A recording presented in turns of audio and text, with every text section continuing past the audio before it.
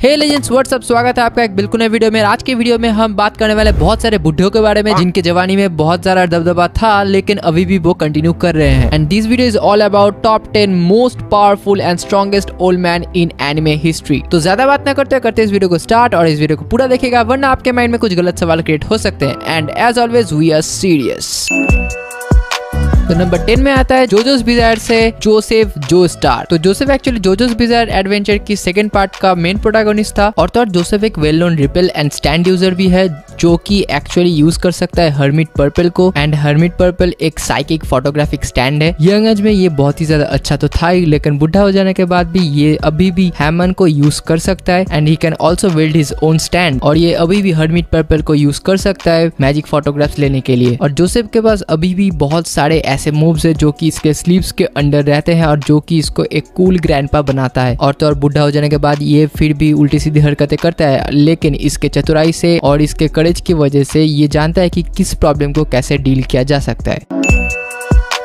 तो number nine में आता है Yoshinobu Gakuganji from Jujutsu Kaisen तो गाकुगांजी छिहत्तर साल की उम्र में भी गिटार अच्छा बजा लेते हैं। और तो और ये है एक प्रिंसिपल क्योतो जुत्सु हाई का और गाकुगांजी के पास बहुत सारे अमेजिंग टैलेंट्स है। But we know that there are many super over power anime characters in Jujutsu Kaisen but फिर भी गाकुगांजी की जगह बहुत ही स्पेशल होती है। And also he is the oldest anime character in this series हाँ मानता हूँ की वो बहुत ही बुढ़ा है, लेकिन इसके पास tremendous amount of cursed energy है। और ये बहुत ही एक्सपीरियंस जुत्सु सॉसरर है। और गाकुगान जी के पावर्स की बात करें तो गाकुगान जी के पास एक स्पेशल टेक्निक है, जिसमें कि वो अपने गिटार की साउंड को एम्पलीफाई करके साउंड वेव्स प्रोड्यूस कर सकता है with the help of his body और इस, ये सब करके वो अपने सामने वाले ओपोनेंट को बहुत ही ज़्यादा डैमेज पहुँचा सकता है। और ये बात कौन ही सोचेगा कि एक बुढ़ा आदमी गिटार बजाते हुए इतना ज़्यादा डैमेज कर सकता है? And one last word Gojo के फैंस तो सब लोग हैं, लेकिन अगर आप लोगों ने इस एनिमे कैरेक्टर को थोड़ा सा भी ध्यान दिया होगा तो आप लोग समझ ही जाओगे कि गाकुगान जी कितना ज़्यादा स्पेशल है।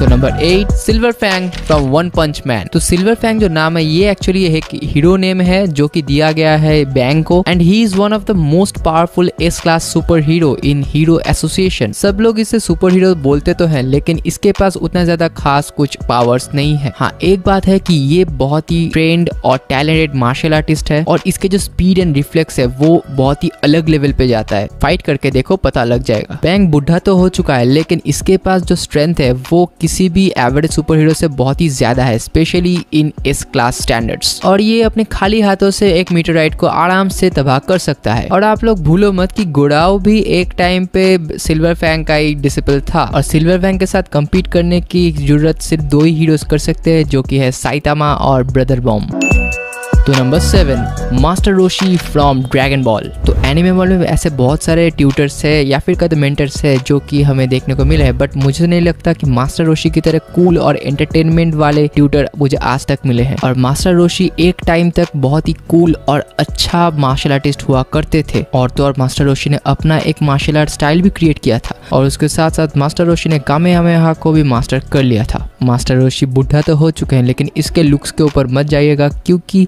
इसने बहुत सारे ऐसे फाइटर्स को ट्रेन किया है जो कि आज के टाइम में बहुत ही ज़्यादा पावरफुल है। जैसे कि गोकू क्रिलिन एंड ऑक्सकिंग उसके साथ साथ अभी भी मास्टर रोशी के पास इतना ज़्यादा स्ट्रेंथ और स्किल्स है कि वो गोकू को आसानी से हरा देगा सिर्फ़ in hand to hand combat में। कोई भी गलत मत समझना।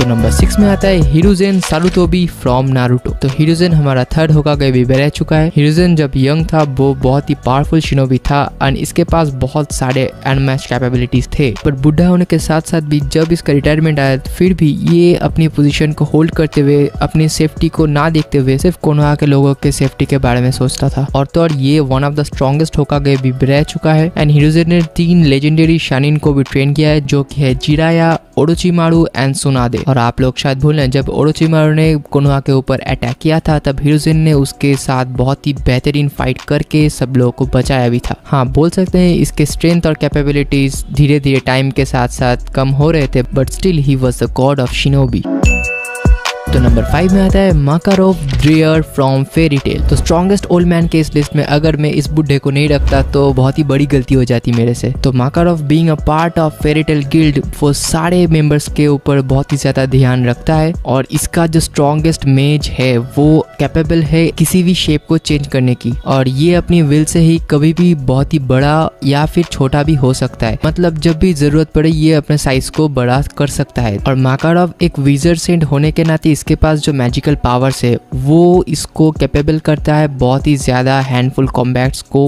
परफॉर्म करने के लिए। और हम सब लोग जानते हैं कि ये उतना ज़्यादा फाइट नहीं करता बट अगर इसको थोड़ा सा भी गुस्सा आया और ये अपने डेंजर मोड में चला गया तो इसको कोई भी नहीं रोक सकता। और इसके साथ साथ माकारोव मास्टर कर चुका है all the three great fairy magic को। और तो और हम सब लोग इसको जानते हैं कि ये यूज़ कर सकता है फेरी लॉ को। और ये फेरी लॉ जो यूज़र यूज़ करता है, वो किसी भी आदमी को अटैक कर सकता है, जिसको कि वो फ्रेंड नहीं मानता। एंड नंबर फोर पे Isaac Newton from Hunter x Hunter बात करता है यार।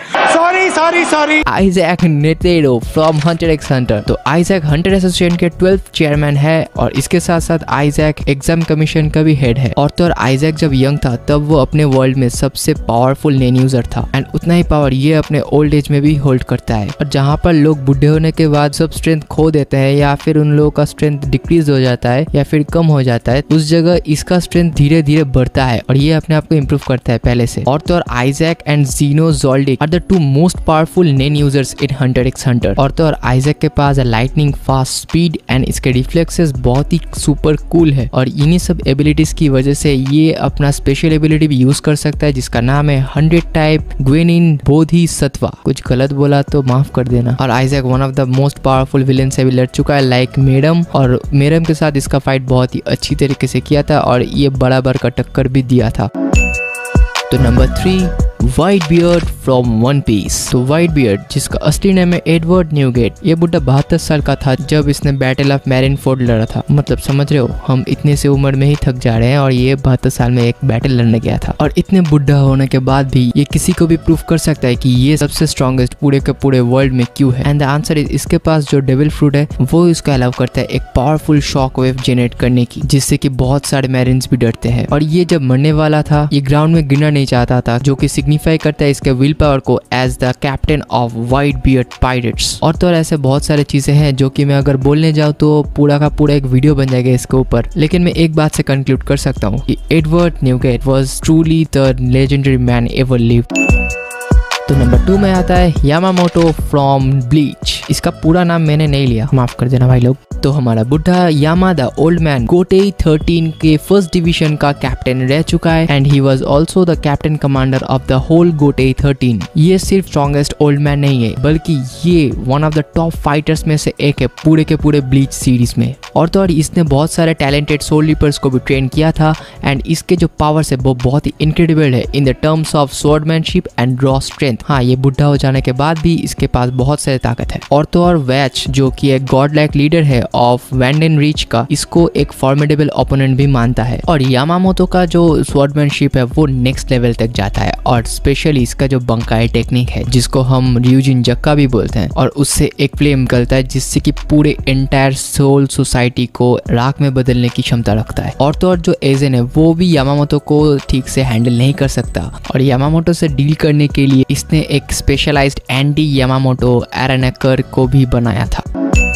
Number one Zeus from Record of Ragnarok तो ज्यूस जो कि सबसे स्ट्रॉन्गेस्ट गॉड है, और ये सबसे स्ट्रॉन्गेस्ट कैरेक्टर भी है इन द सीरीज़ और इसके माइट को और इसके पावर को देखते हुए सारे गॉड्स इससे डरते भी है। और ये कोई भी चीज़ को क्रिएट कर सकता है और इसके साथ साथ किसी भी चीज़ को पूरी तरह रिवर्स या फिर इरेज भी कर सकता है पूरे के पूरे दुनिया से। और इसके गॉडली पावर्स को साइड में रखे भी तो इसके पास और भी ज़्यादा पावरफुल टेक्निक्स है, जैसे कि meteor jab divine axe and Adamas. और ज्यूस को हम जानते हैं कि ये सबसे स्ट्रॉन्गेस्ट गॉड है। और इसको हम रेफर भी करते हैं एज अ चेयरमैन और the king of the gods के नाम से। और ये तो कुछ भी नहीं, इसने बिग बैंग को सिर्फ़ थ्रिल के लिए देखा था और इसके साथ साथ ये पूरे हेवन को भी डिस्ट्रॉय कर सकता है इसके फाइनल फॉर्म में। लेकिन हमें डरने की ज़रूरत नहीं है क्योंकि ज्यूस बहुत ही काम है और तो और ये अपने गुस्से को काबू करना भी जानता है। सो गाइस वीडियो यही पर एंड होता है। मुझे पता है कि बहुत सारे ऐसे एनिमे कैरेक्टर्स होंगे जो इस लिस्ट में आ सकते थे लेकिन आ नहीं पाए। और तो और अगर मैंने कोई भी एनिमे कैरेक्टर को अगर मिस कर दिया है तो उस कैरेक्टर का नाम आप कमेंट में लिख सकते हैं। एंड अगर आप चाहते हो कि मैं इसका सेकेंड पार्ट भी बनाऊँ तो आप नीचे कमेंट कर सकते हो वो कि सेकंड पार्ट चाहिए और कौन से कैरेक्टर्स को इंक्लूड करना चाहिए, वो भी आप इसको कमेंट करके बोल दीजिएगा। और अगर आपको ये वीडियो अच्छा लगा तो लाइक कर दीजिए शेयर कर दीजिए अपने दोस्तों के साथ और तो और सब्सक्राइब करके जाना भाई लोग। टू के बहुत ही पास हूँ। तो मिलते हैं किसी दूसरे वीडियो में। तब तक के लिए एनिमे देखते रहिए और चिल करते रहिए। सो टाटा सी लेटर